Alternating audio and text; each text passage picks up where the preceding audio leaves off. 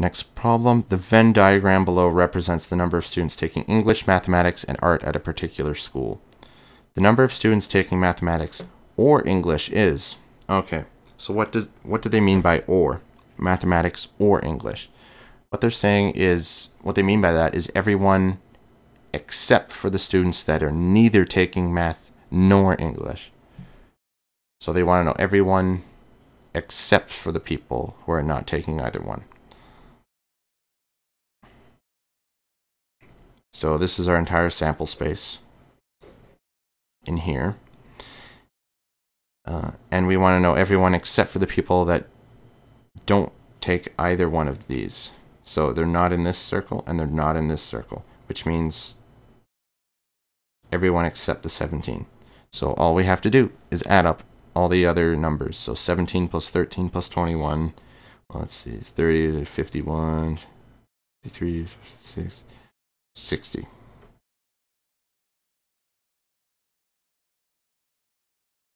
Answer D, 60.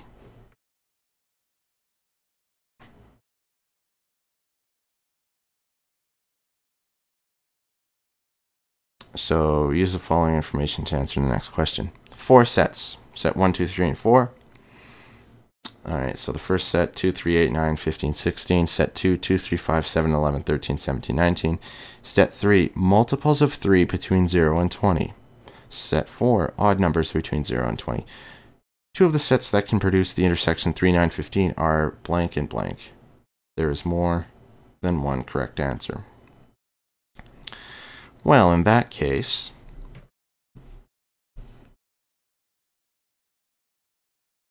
we have to figure out the intersections between the various sets.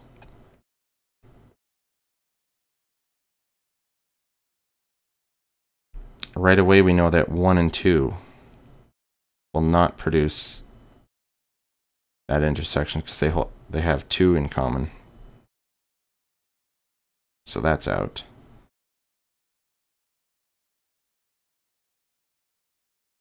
Sets 3 and 4, it helps to actually write out what they are. So multiples of 3 between 0 and 20.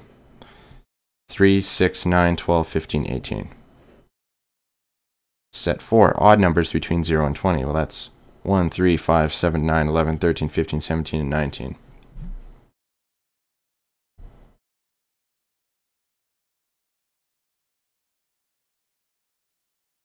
Okay, so we're looking for intersections that'll give us 3, 9, and 15. Set 2 does not have a 9 in it. It does not have a 15 in it, so it cannot it cannot be part of the answer because the intersection is the numbers that both sets have in common when you intersect two sets. Or when you ask for the, the what the intersection is of two sets um, a number has to be in both in order to be included in the intersection. So 2 does not have a 15 in it or a 9 in it, so it's it's completely out. But what about sets 1 and 3? Well,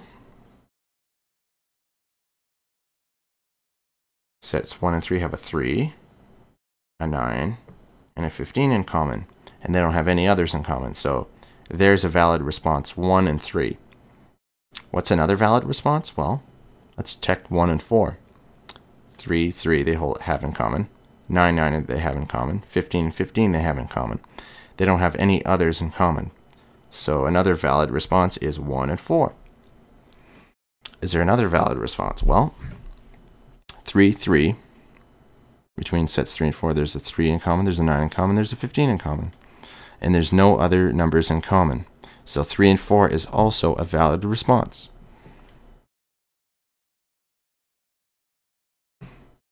So as your numerical response, you could have put 1, 3, 1, 4, or 3, 4. Either any of those three responses would work. Next question. The universal set of primary and secondary colors in art contains yellow, blue, red, orange, green, purple, black, and as shown below. If R is the set of colors that contain red, then all the colors in the complement of R, in other words, R prime R. Okay.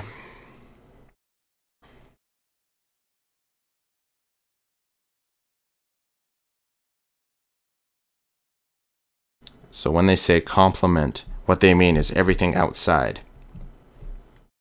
R is the set of colors that contain red. So R is red, orange, black, and purple.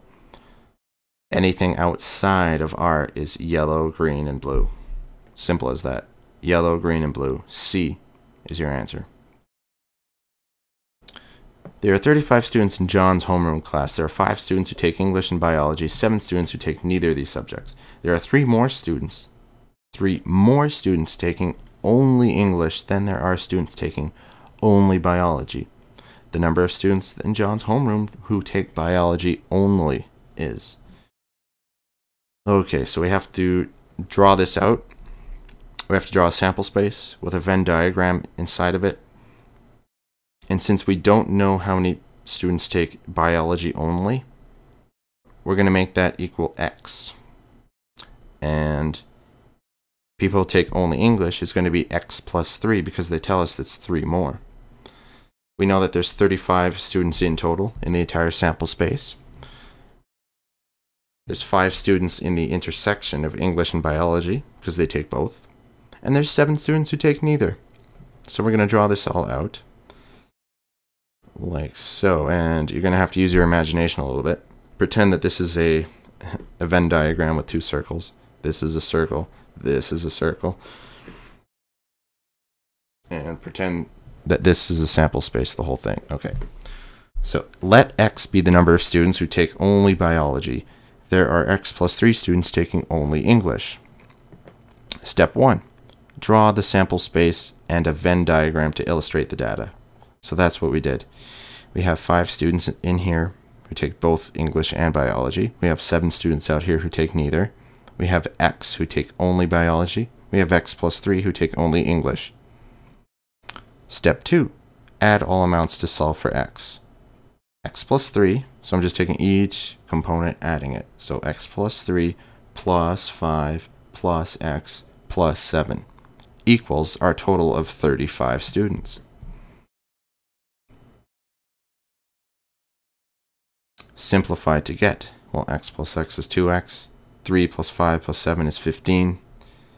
2x plus 15 equals 35. Thus, you just subtract 15, 15, you get 2x equals 20, and then x equals 10.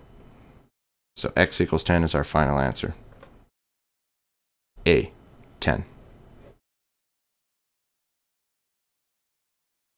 Which of the following Venn diagrams illustrates M intersect N? Equals null. So the upside down U means intersection, which means uh, anything that the two sets have in common. And the, the circle with the slash through it means null, which means nothing. So M and N have nothing in common. Well, that only happens with C. There's no intersection uh, area at all.